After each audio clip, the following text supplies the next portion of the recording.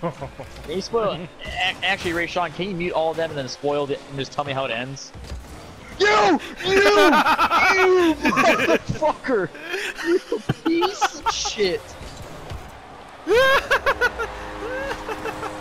ah, who gives a shit? Spoil it for them.